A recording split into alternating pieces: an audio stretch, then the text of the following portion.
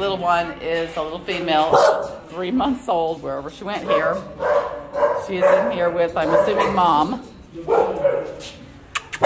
Hi, cuties. Hi, cuties. Now, now that your baby's back with you. You have to be more careful. Anyway, this little one can be found at Animal Care Services in San Antonio, Texas. Mommy's watching out for her.